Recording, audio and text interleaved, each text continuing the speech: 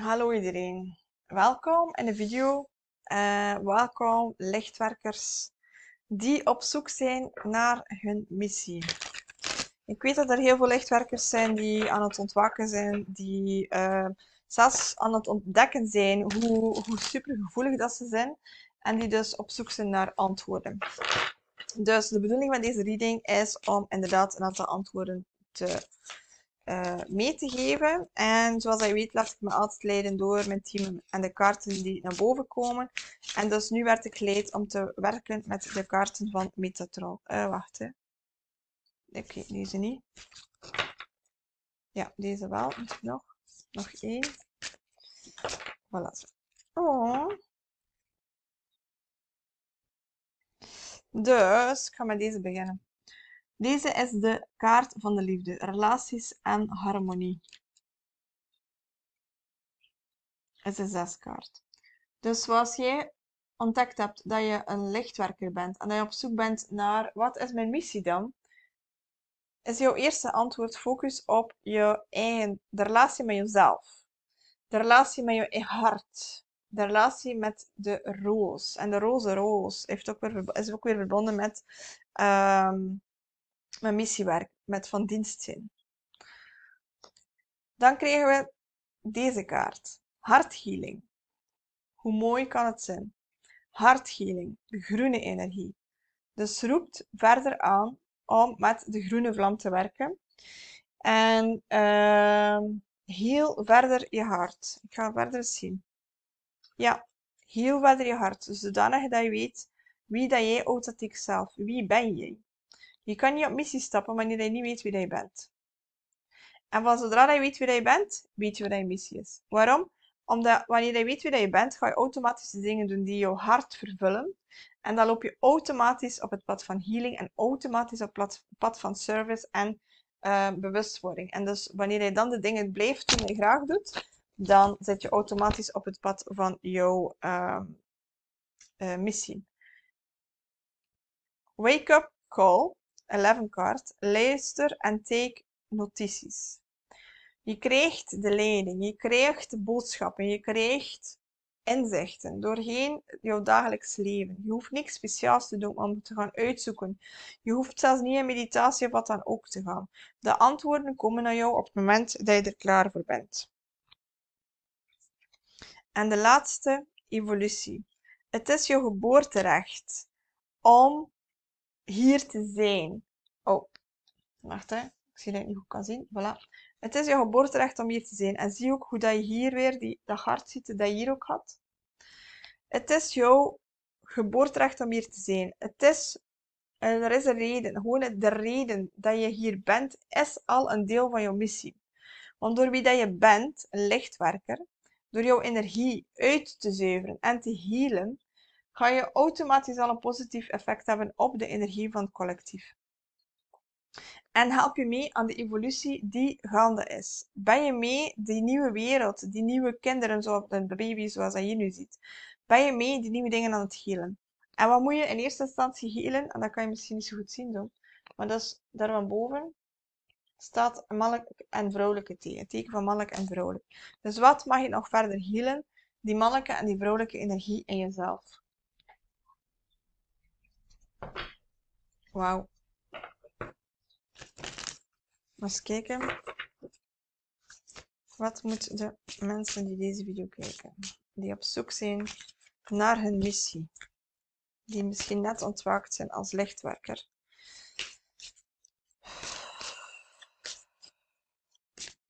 Oké, ik hoor dat we drie kaarten gaan uh, krijgen. En die drie kaarten, één daarvan, dus ik ga ze eerst uh, zo leggen. Maar dus één daarvan gaat voor jou van toepassing zijn. Oké, okay, geef me de eerste kaart. Dank u wel. Hoeveel zijn er? Zijn er te veel? Oké, ik snap het. Dus dit wordt 1, 2, 3. 1, 2, 3 en nog eens 1, 2, 3. Oké, en dus kies je nu voor jezelf, je mocht eventueel de video eventjes op stop zetten, wat dat je nog meer informatie gaat brengen rond je missie. Eerste, tweede of derde. En dan gaan we beginnen met de eerste. De eerste is Actramis en Orbron. Ik ga deze eventjes aan de kant leggen. Ik ga het boekje erbij nemen, want dat is een heel nieuwe deck voor mij. Maar ik vind het zo super krachtig dat ik ermee wil werken hier. Uh, Arctramis is een van de galactische draken. Dus hij zorgt voor de verbinding tussen onze sterrenfamilie en hier. En dat is hetgeen dat hij ook aan jullie wil meegeven. Oberon is dan uh, eerder de, uh, een, een, draak die veel meer verbonden is met de en die ons ook hier helpen in het fysieke.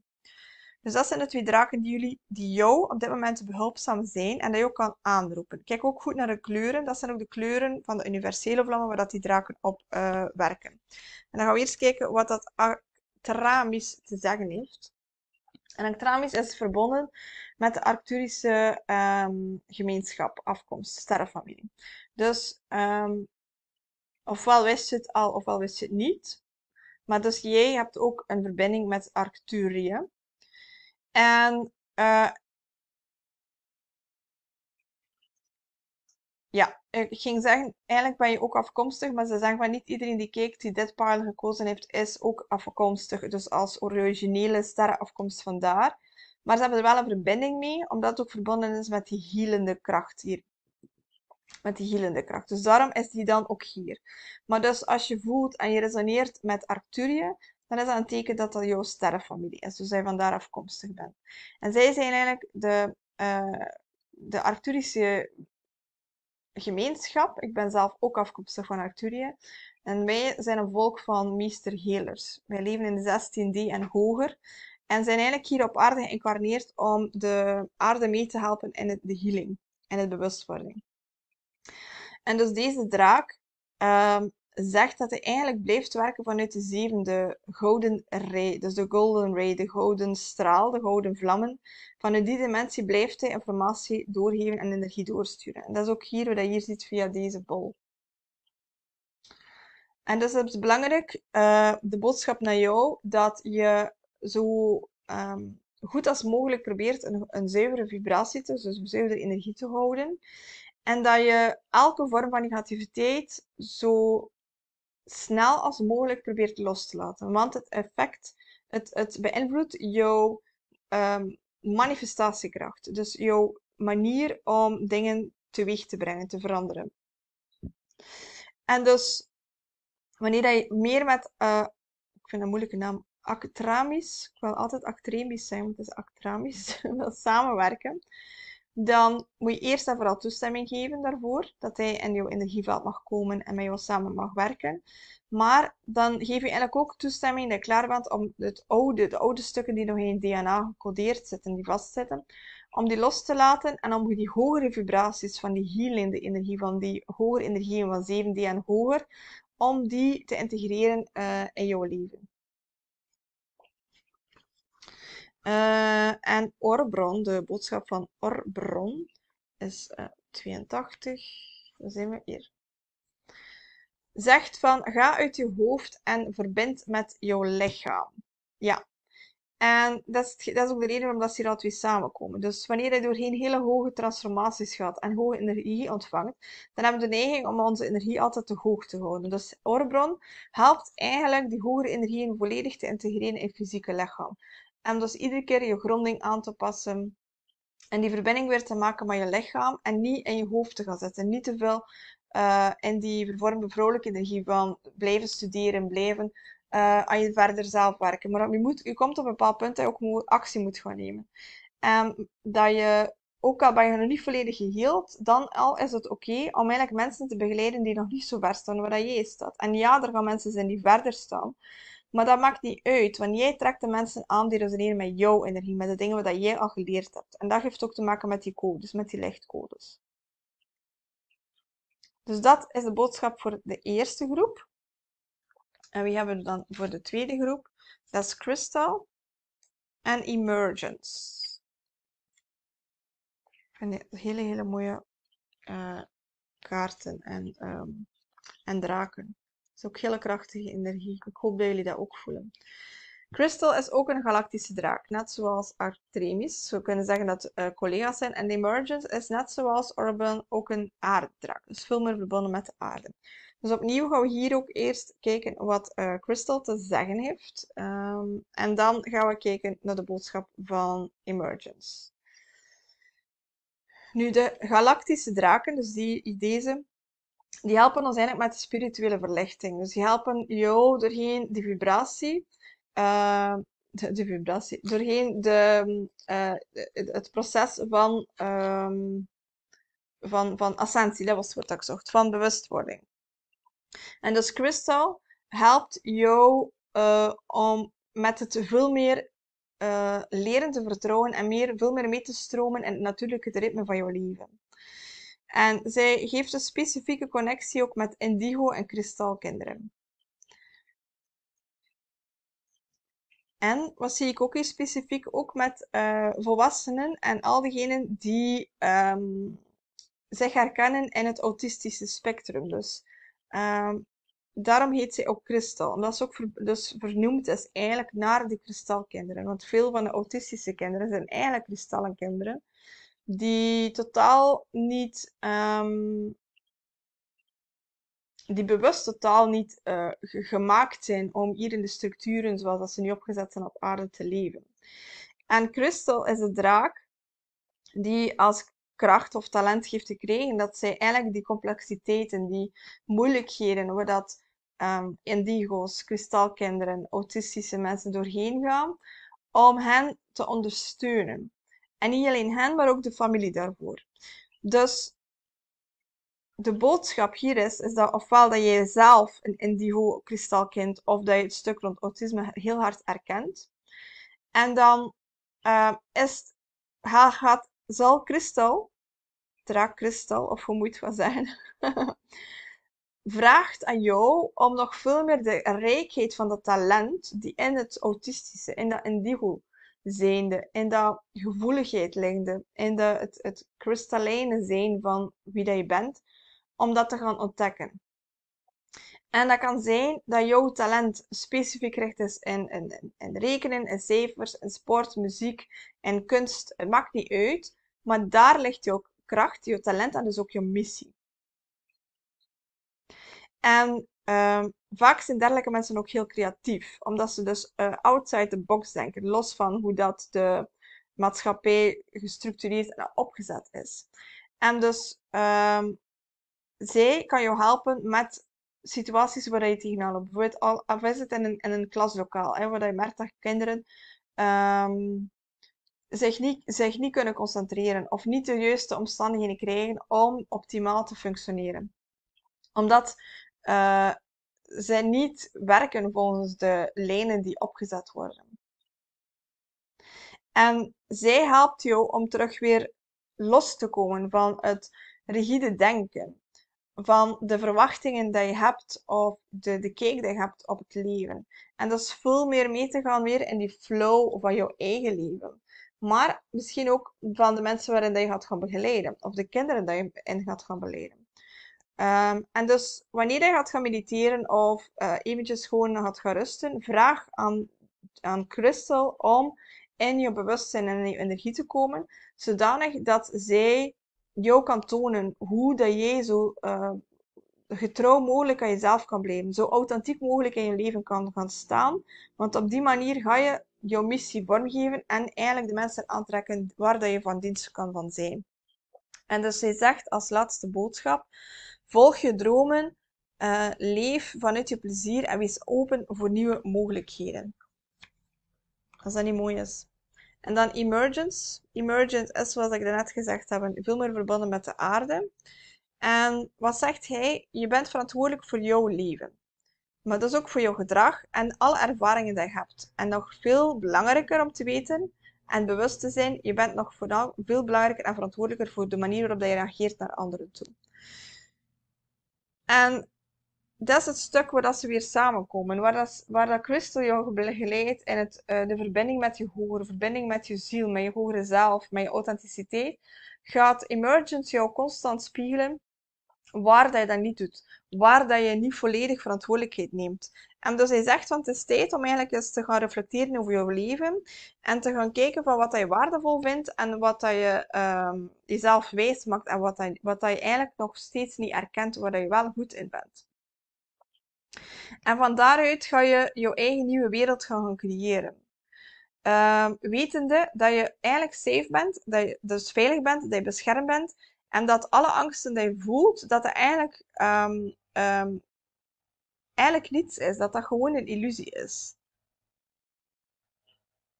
Ik ben eens aan het luisteren wat de bood welke boodschappen dat Emergence nog wil geven.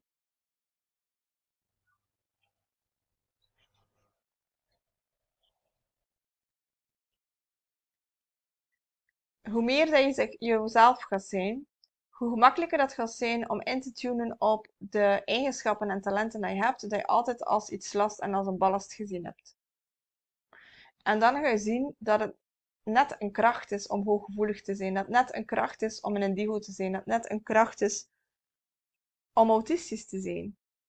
Net omdat je niet doet zoals dat al de anderen doet. Maar dat helpt jou en geeft je de kracht en de, en de moed en de gaven, de mogelijkheden om uit het systeem te stappen. Mooi. En dan de volgende, voor het derde pile. Ik ga misschien deze zo leggen. 1, 2 en 3 is Courage en Platinum. En ik denk, als ik me niet goed voor heb, eh, als ik goed voor heb, Ah nee, is geen Galactic Dragon, maar is een Grand Masters Dragon. Dus Platinum is een Grand Masters Dragon. Courage is ook een uh, aardedraak. Dus veel meer met aarde verbonden. Um, en de... Uh, hoe, heet het, hoe heet het ook alweer? De Grand Master Dragon. Dus een grote meesterdraak. Dat zijn eigenlijk de leraren. Dus... Uh, twijfel niet. Als je derde gekozen hebt, dan ben je een leraar. Dan ben je hier om te leren. Om te leren, eerst in eerste instantie zelf natuurlijk, en om vervolgens al diegenen die je geleerd hebt verder te geven, uh, door te geven. Uh, Oké, okay, wacht. We gaan eens zien. Uh, Platinum, maar dat zijn boodschap is die hier neergechanneld is. En dan ga ik zien wat ze extra boodschappen nu nog willen doorgeven. Oh, Platinum is de Keeper of Secrets. Nice. Hij is verbonden met Atlantis. En hij is ook verbonden met Saint-Germain. Uh, en dus ook met die mannelijke energie, die divine mannelijke energie.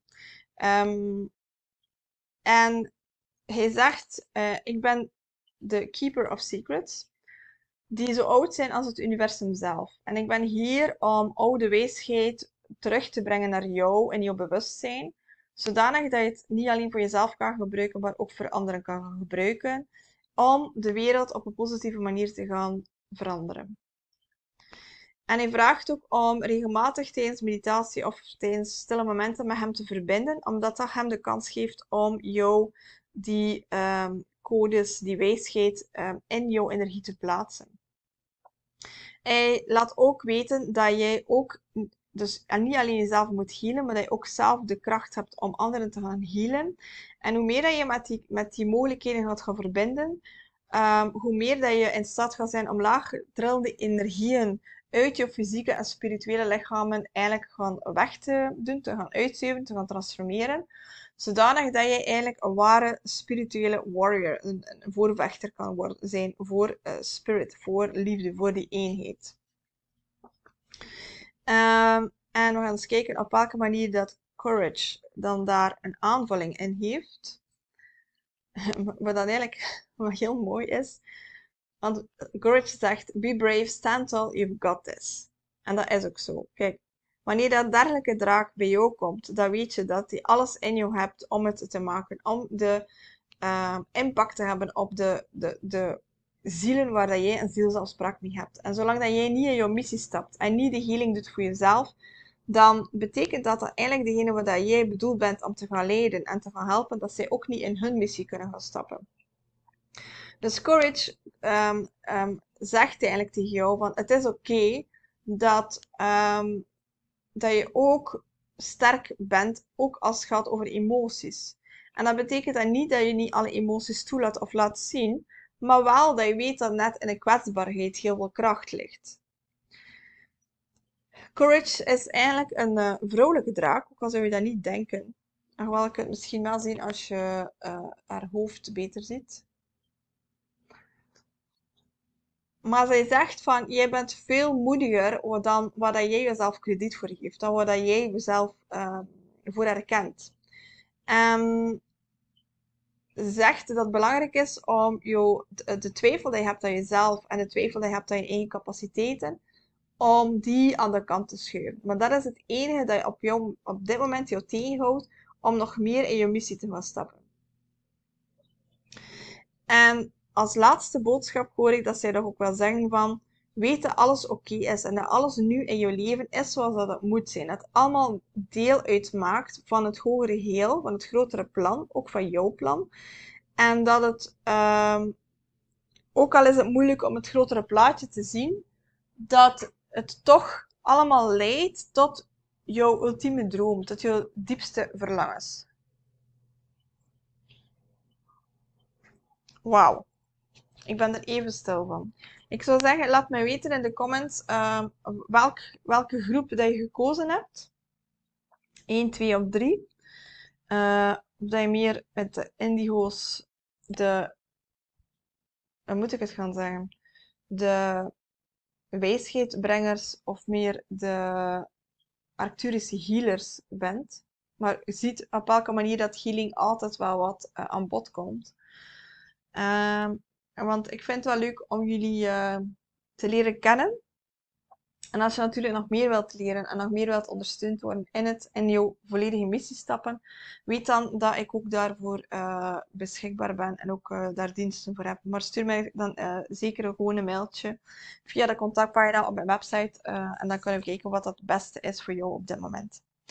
Zo, dat was het. Ik ben heel blij dat ik deze reading gedaan heb. Ik wist eigenlijk niet wat ik mocht verwachten, maar ik hoop dat jullie even blij zijn met de boodschap die doorgekomen is uh, als ikzelf. Zo, geniet nog van je dag en uh, tot in de volgende video. Dag!